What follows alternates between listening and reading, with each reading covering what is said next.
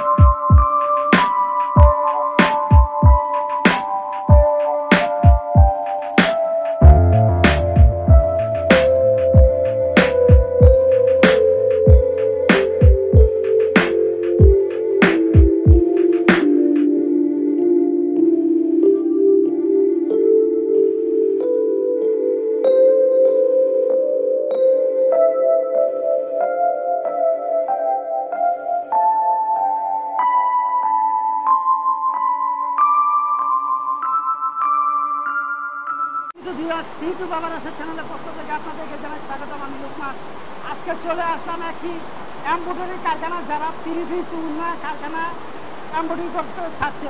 তাদের জন্য আজকে এই ভিডিওটা, এবং যারা তিরি পিস কিনেন বা করেন তারা এই ভিডিওটা দেখতে পারেন, কীভাবে এম্বয়ডারি করা হয়, এবং এখান থেকে আপনারা কীভাবে এম্বয়ডারি করে নিতে পারেন, সর্বনিম্ন কত পিস নিতে পারেন, এবং এখানে কীভাবে আসতে পারেন সুন্দর কিছু বিকাশ করে দেবো সাথে থাকবেন আসসালামু আলাইকুম ভাই। কেমন আছেন? আসসালামু আলাইকুম। নাম কি ভাই? আমার নাম রাহান। রায়হান ভাই? তো রায়হান ভাই কত দিন ধরে কাজ করতেছেন? এই বিগত পাঁচ বছর ধরে কাজ করতেছি। পাঁচ বছর ধরে? তাহলে তো আপনার অনেক অভিজ্ঞতা আছে।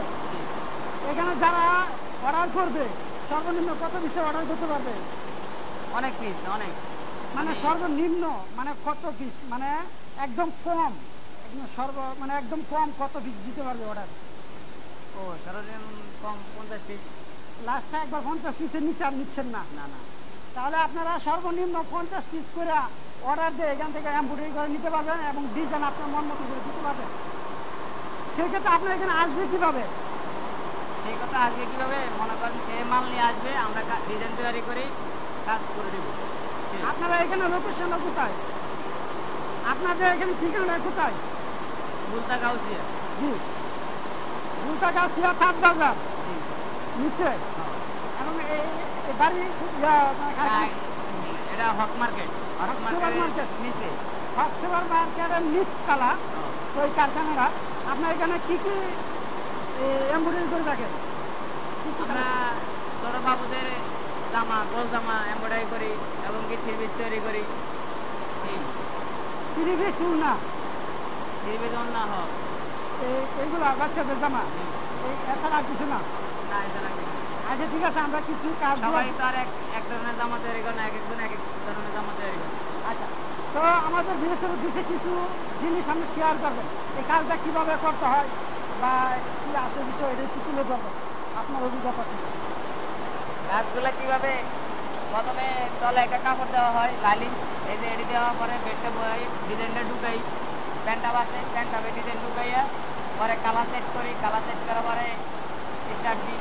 স্টার্ট দিলে একটা স্টিচ আছে যে এই জায়গায় একটা স্টিচ আছে স্টিচটা কোনোভাবে যাইয়া কাজ হয়ে গেলে বেস্টটা হয়ে যাবে না বুঝছেন ঠিক আছে তাহলে আপনারা যারা এই ফিলিপিস নিয়ে ব্যবসা করেন এবং এই- কাপড়টা কোথায় দিকে কিনে দিতে পারে আপনাদেরকে? এই কাপড়টা একটা মানে দোকান আছে দোকানে মনে করেন খালি ওটা কাপড় বিক্রি করে। এই উল্টা গাউসি আছে। যারা মনে করেন বোর্ডে ব্যবসা করে তারা ওই জায়গাতে কাপড় কিনে আনি। কাপড় কিনে আনি পরে আমার কাছে দেয় আমরা কাজ করে দিই। আচ্ছা সেই ক্ষেত্রে যারা পাইকাররা পঞ্চাশ পিস একশো পিস করে কিন্তু তারা কিন্তু অর্ডার নিয়ে শোরুমের থেকে আপনারা এখানে দেখা গেছে কি এক একটা ডিজাইন দেখা গেছে দুই পিস তিন পিস করে নিয়ে। আপনারা এখানে মানে এক ডিজাইনের ভিতরে কয় পিস করে? একদিনের ভিতরে সত্তর পিস আশি পিস একশো পিস দেড়শো পিস আর দুশো পিসে করে মানে একটা মানে এই যে ডিজাইনটা করতেছে। এক কাপড়টা এক কালার না কাপড়টা আছে বিভিন্ন কালার পাঁচ ছয় কালার আছে। হ্যাঁ বুঝতে পারছি।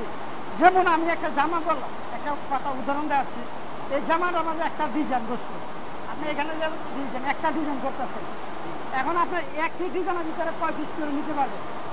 ও এক এক একটা এক কালারে দুই পিস করে হয়। তো দুই পিস করে হয় ছয় কালার। ছয় কালার মধ্যে বারো পিস বারো করে চব্বিশ ডজন। আচ্ছা চব্বিশ। ডজনে পঞ্চাশ পিসের ভিতরে কয়টা ডিজাইন দিতে পারবে? না একটা ডিজাইনই পঞ্চাশ পিসের ভিতরে মাঝে কেউ আছে এক ডিজাইনে নেয় কেউ আছে দুই ডিজাইনেও নেয় এভাবে। মানে পঞ্চাশ পিসের ভিতরে কি তিন চার ডিজাইন নিতে পারবে? পারবে। তাহলে আপনারা পঞ্চাশ পিস মাল এই যে জাস্ট এই কাপড়গুলা রুল বিক্রি করা যারা তাদের কাছ থেকে কিন্তু রুল কিনে তারপরে ওনাদের কাছে নিয়ে আসবেন। আসলে পরে আপনার তিনটা চারটা ডিজাইন পঞ্চাশ পিসের ভিতরে আপনি ডিজাইন দিবেন সেই ডিজাইনগুলো তারা কিন্তু এখানে পঞ্চাশ পিস মাল করে দিবে। আপনারা সরাসরি এখান থেকে নিজের মন মতো করে ডিজাইনগুলো করে নিতে পারবেন। তো সেক্ষেত্রে যারা ব্যবসা করে তারা তো পঞ্চাশ পিস একশো পিস এরকম করে লাগে। তারপরে তো আমরা এই সন্ধান দেওয়া অর্থাৎ আপনারা সরাসরি ইচ্ছে বলে এখান থেকে নিতে পারবেন। তো ঠিক আছে ভালো থাকবেন থাকবেন। ঠিক আছে।